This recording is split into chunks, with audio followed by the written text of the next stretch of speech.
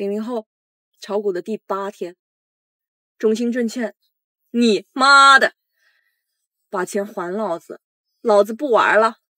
未成年我是，能不能退款？这个同花顺这个软件未成年，我在西安能拿个六千的工资，真的算不错的了。因为我的底薪就是两千五，能拿六千是完全靠自己努力。说实话。西安是一个一线城市吧，但是三线的工资工资真的太低了，而且是高消费。呃，现在物价呀、房价呀、孩子的教育资金呀都挺贵的。但是呢，像我们底层人民，一拿个三千到五千就能维持个基本的生活水平。想要拿到更多的工资、更多的收入，真的是挺难、挺难的。况且我也不是月月能拿个六千或者六千以上，就是这个月卖的好了，我才能拿到。后半年可能。就是说拿六千的概率能高一点，估计到年过完淡季的时候，一个月拿两千五都是常态了。所以说，呃，年均下来，月均的话呢，估计也就是个四千左右吧。所以说，底层人民这些收入呢，都是被规划好的、定制好的，你只能拿那么多，你只能吃不饱、饿不死。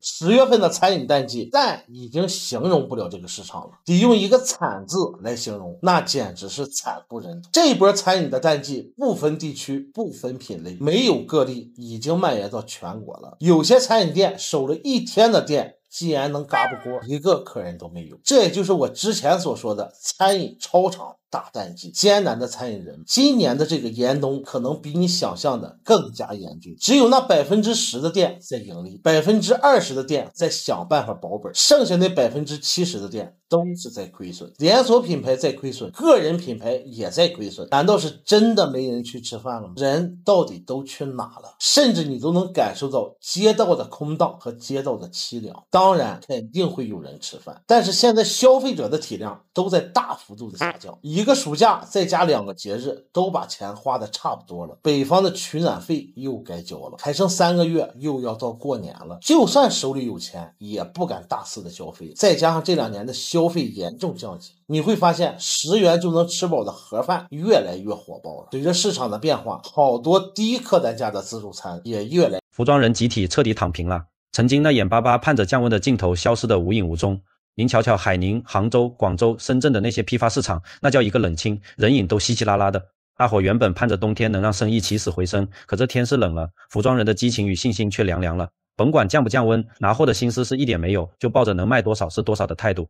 整个行业就好像掉进了冰窖里，人人都无奈的要哭。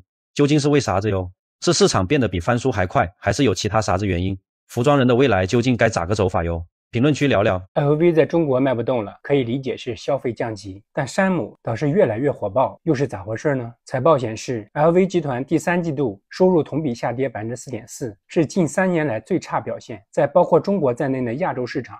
实现有机收入大跌百分之十二，是唯一录得下跌的市场。可以说，中国消费者对高端消费品的需求似乎没有以前强烈了。尽管需求还在，但数据显示，百分之四十五的中国高端消费品消费均发生在海外，尤其是日本。而作为中产的收割机，山姆在全国已经开出四十九家门店，付费会员更是超过五百万，一年仅收会费就能入账一点三个亿。在消费降级的当下，山姆去年的营业额高达八百亿。在人人都喊穷的时代，很多人都会怀疑：难道穷的是我自己？相信大家都知道恩格尔系数吧？就是食品支出总额占个人消费支出总额的比重。在过去几十年，恩格尔系数都是不断下降的，代表居民的生活质量越来越好。然而，一九年，特别是疫情后，这个值突然上升，且随后几年并未出现明显的下降趋势。二三年比一九年高出百分之一点七，这就体现了大家把钱都花在了吃上，也反映的是人们对非必要消费欲望的减弱。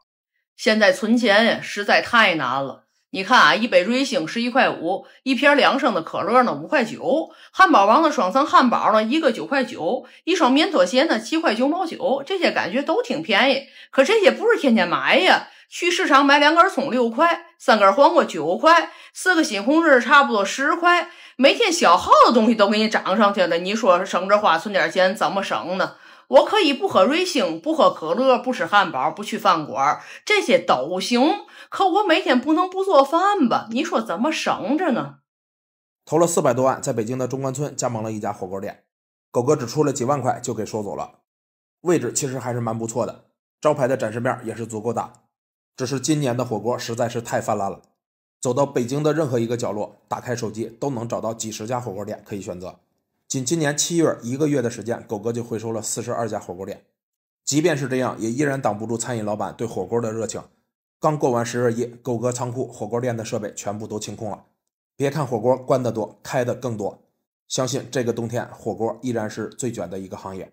狗哥特别想问一个问题：那些投了几百万开火锅店的人，最后只卖个几万块，你们的心里真的不痛吗？成都光环购物公园，这是地铁入口，这个也是今年六月份刚刚开的项目，总体量好像是十一万方的购物中心，没有重庆光环那个大。地下的超市是盒马鲜生。然后很常规的配了很多小餐饮，个人感觉整体的招商上面啊是不如重庆光环的。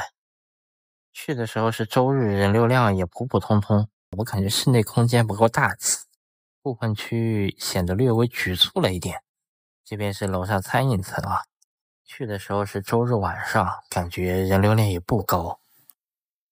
注意，国家统计局公布了八月份城镇失业率统计数据：十八到二十四岁有劳动能力的、可以正常呼吸的，你们的失业率高达百分之十八点八。当然，在农村的不算失业，自己辞职的不算失业，上学的更不算失业。一千一百七十九万应届毕业生已经进入劳动市场，就业率高不高我不知道，失业率肯定越来越高，赚钱越来越难。不过做主播还是有赚头的。所以啊，十月以后，主播这个行业会更火。北京一线城市已经冷清到这种地步了吗？在北京开了八年全年无休的便利店，国庆后的生意让我怀疑自己是不是在北京。我现在经营的这个便利店是五年前花三十八万转让过来的，位置在北京一个还算比较大的小区门口。为了节约成本，店里只有我和父亲两个人轮流守在店里，一天十六七个小时。平时老爸一般七点半就开门营业，这两天老爸回老家，哪怕我昨天晚上守店到十二点，到家收拾收拾一点才能睡。今天早上依然坚持在七点半左右开门，守到八点多才有两。两个顾客来买了两包八块钱的口粮。过节之前生意还算说得过去，那会我早上每天八点多给老爸送早餐之前，运气好的话营业额能到三四百。总体来讲勉勉强强还能说得过去。没想到从十月二号开始，一天还是守店十六七个小时，但挣的都不够一天的成本，简直不敢相信北京的人都到哪里去了。昨天有个顾客是经常来店里买口粮的，他的工作是跑外卖，拿着行李就说在北京混不下去，要回老家了。他一个普通的打工族，一个月工资六千多，减去房租、水电、生活开销就所剩无几，再加上现在北京跑外卖的满大街都是，都在一个狼窝里炒肉吃，每天为了能多赚点，跑到凌晨一两点都不舍得下班，一年下来也剩不了几个钱回家，他家人就叫他回老家发展。普通人真的在北京混不下去了吗？像我这样的普通人又没有文化，除了自己能做点小生意，还有什么工作是我能做的呢？想换个地方发展吧，又没有本钱，根本就不敢动。回老家吧，还怕被人笑话，在大城市混不下去。像现在这种环境，真的不知道要何去何从了。家人们，你们现在的状态是迷茫还是坚定的呢？今天星期一啊，我们看一下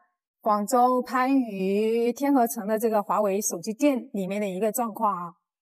大家视频前方可以看到啊，这个华为手机店里面好像啊没有什么顾客，因为今天呢是星期一，所以说呢可能出来逛街的人没有那么多啊。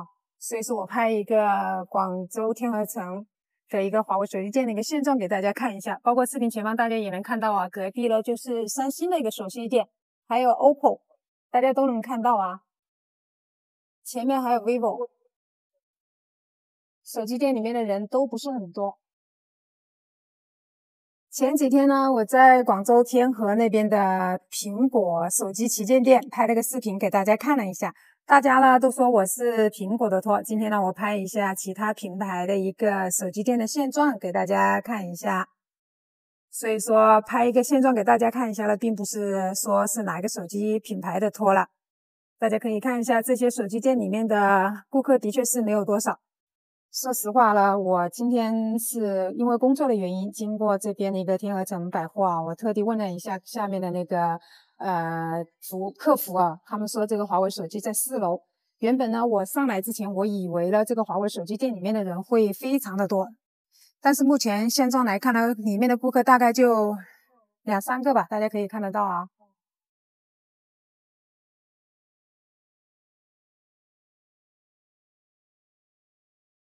特别是最近这个华为手机，今年出了一个折叠手机，包括三折的这个手机的价格也是不菲。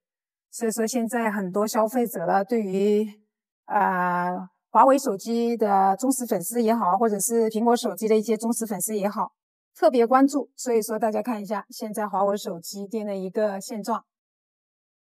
上次我拍苹果手机店的一个现状的时候，人的确是很多啊。啊，那一天呢，也是一个普通的工作日，也不是周末啊。所以说呢，相比之下呢，感觉苹果手机店里面的人的确是多很多。哦，不知道你们看到现在这一个现状有什么想法呢？可以在评论区留言分享一下，谢谢。